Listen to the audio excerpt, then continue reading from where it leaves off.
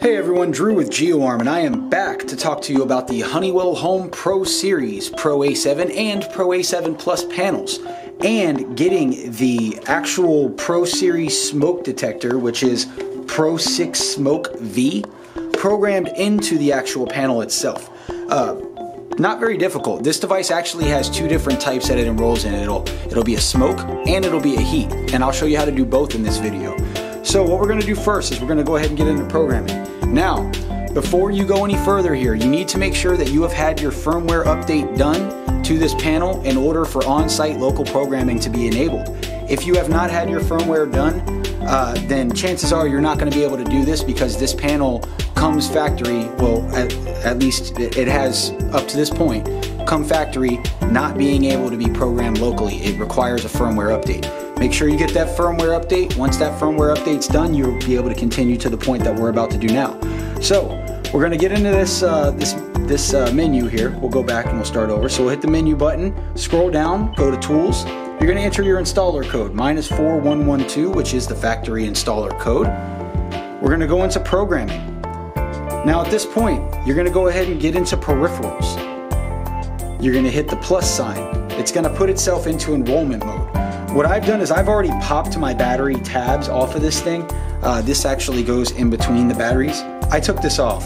So what I'm gonna do to enroll this is I'm just gonna tamper it. And uh, last time I tried it, it was actually two tampers that it took in order to do it. And then we'll let it sit. It should enroll here momentarily. Once it gets in there and it's good to go, then we can go ahead and enroll it as both a smoke and a heat detector um, which is pretty neat because this is this is essentially a combo device without even really bragging about it. So there it is. It learned in after my two tampers. We're to go ahead and go through and make sure that all this stuff is set up the way that we want it. So uh, if you scroll down here, it, it is touchscreen, so you can kind of move it around here. So you'll see here, zone one, it is set up as a smoke. I'm going to leave it set up as a smoke. And then we're going to go ahead and label where it is. So I'm to say that this is in my living room. So we'll type in living and then living room populates. You can just go ahead and press that button. You don't need to put in smoke. It'll automatically say that. That's already programmed in. So we'll scroll down. We'll make sure that it's set up the way that we want. We do like fire with no verification, which means if smoke goes off, they're just gonna roll. If you want them to call you prior to rolling the police, or I mean the uh, fire department, go ahead and hit fire with verification. That means that we're gonna call you, reach out, just to make sure everything's okay before we dispatch. So uh, I'm gonna go ahead and just set it fire with verification because I do want them to call me in the event that something like this happens. Um, we do want it supervised because we do want to know if this device has any issues with battery or supervision or anything like that. Um, and then we do want the alarm report. Uh, this means that it's going to send its signal to our central station and we will verify it. And uh, the one go all go feature means if one smoke goes, all the rest of the smokes will hear it going and will also go into an alarm mode as well. Uh, it's just a good way for the whole house to know that there is actually something going on. I love that feature. I'm gonna go ahead and leave that there. Uh, what we're gonna do now that uh, we have our smoke program correctly, we're gonna scroll back up to get the heat programmed in here. You'll see a section that says service.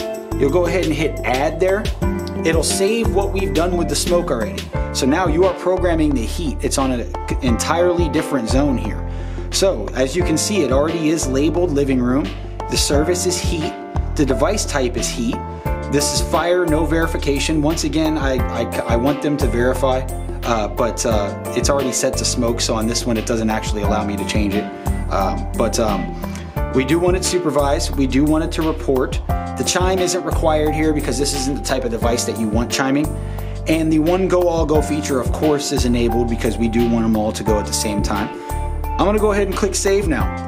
Now, you'll see that there is two separate devices programmed in here. You'll see the smoke and you'll see the heat.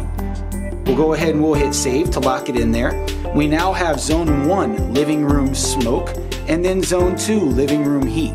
This is a combo device, so you have a smoke and heat detection uh, device now. Uh, that is how you get this programmed in. What I'll do is I'll just go ahead and I'll get us out of programming and I'll tamper this to show you guys that this device is actually being uh, monitored here. So there's our tamper. Go ahead and put that back on. Go ahead and clear that out.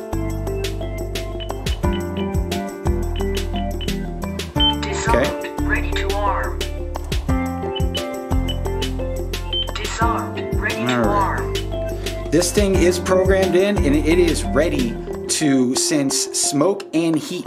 If you guys have any questions or any comments, please leave them below. But that is how you program in the Pro 6 Smoke V into the Honeywell Home Pro Series, Pro A7, or Pro A7 Plus panels. Take care. Have a great day. Make sure to subscribe to our YouTube page and click the Show More tab underneath the video where you can view valuable links pertaining to this product, similar how to videos, and our low cost, no contract alarm monitoring services.